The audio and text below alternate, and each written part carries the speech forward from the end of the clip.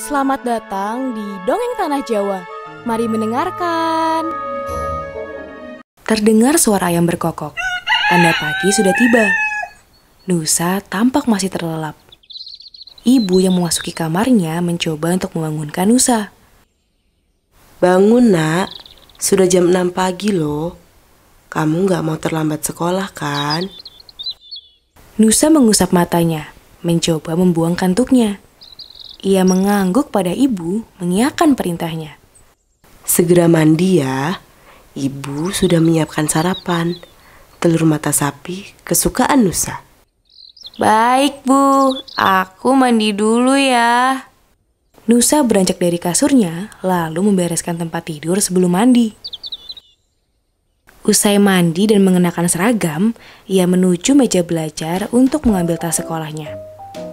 Tak disangka, pada meja belajarnya terdapat kotak pensil warna bertulis Kantara. Nusa tampak begitu bahagia. Ia tidak jadi kena marah oleh ibu guru, pikirnya. Ia sungguh ingin berterima kasih pada orang tuanya, juga pada kakaknya. Ia bergegas menuju ruang makan untuk menghampiri mereka.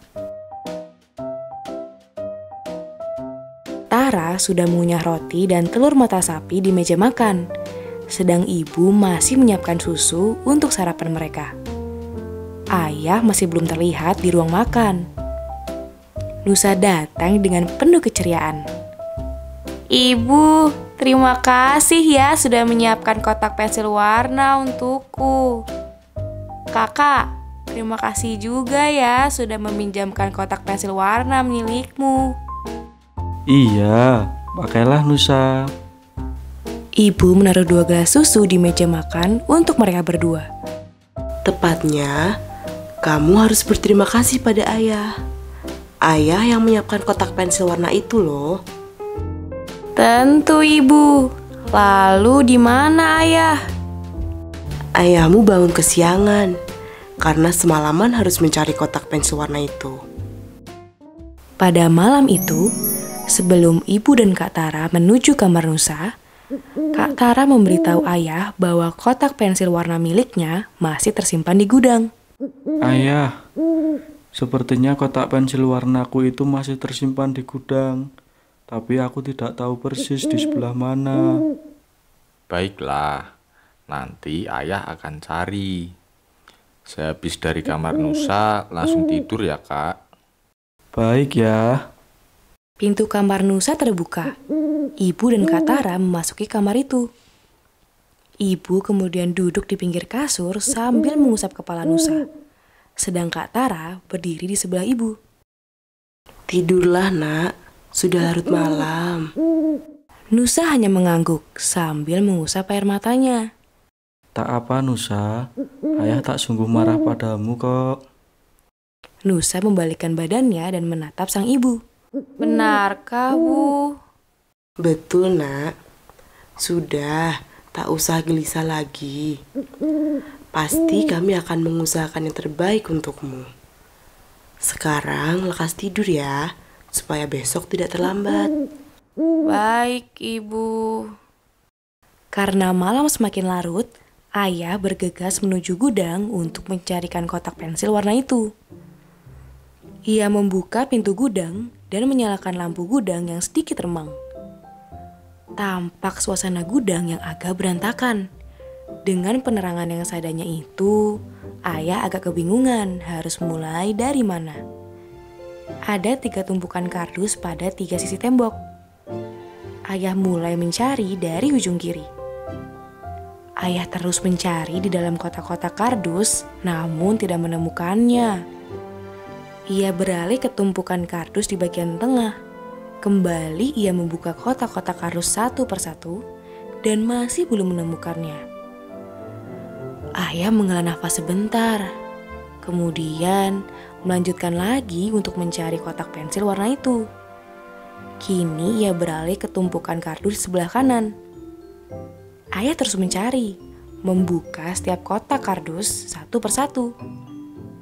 Sampailah di barisan terakhir, ia mendapatkan kotak pensil bertuliskan nama Tara. Ayah sangat tega. Akhirnya menemukan kotak pensil warna itu. Ia tidak sabar ingin segera memberikan kejutan pada Nusa.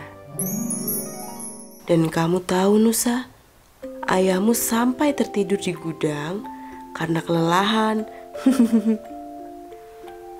Benarkah ibu? Kasihan sekali ayah.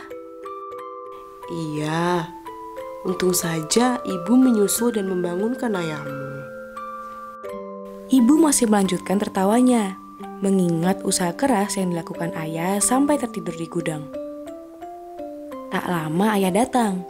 Ia mengusap kepala, meminta maaf karena sudah terlambat. Maaf ya, ayah terlambat. Melihat kedatangan ayah, Nusa langsung menghampirinya dan memeluk sang ayah.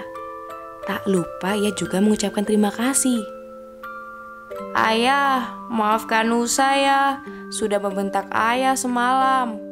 Dan terima kasih sudah menyiapkan pensil warna untukku.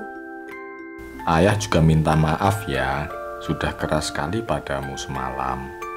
Mereka berdua saling berpelukan dengan penuh kasih sayang. Sudah dulu sayang-sayangannya. Sudah setengah tujuh loh ini. Nanti kalian terlambat. Iya bu, Ayah melepaskan pelukannya, dan mereka berdua bergegas berangkat. Ayah tidak mau sarapan dulu. nanti saja di kantor bu, sudah terlambat.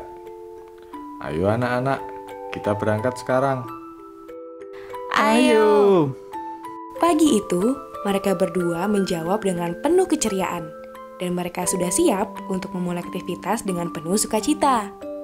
Pesan moral yang dapat kita ambil adalah, seberapapun kecerobohan kita, orang tua pasti akan membantu kita sekuat tenaga. Jadi, kalau kita bersalah, jangan lupa minta maaf ya.